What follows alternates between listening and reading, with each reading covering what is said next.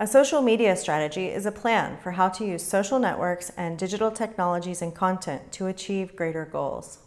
For example, a candidate might use a social media strategy to publicize her policy positions. A nonprofit might use a social media strategy to raise money to help resettle refugees.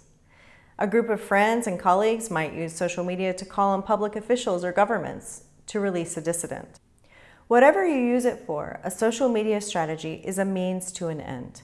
It helps us do something that helps us achieve something else. A social media strategy is often a component of a broader communications, advocacy, or organizational strategy. To measure and maximize impact, your social media strategy must always be aligned with these plans.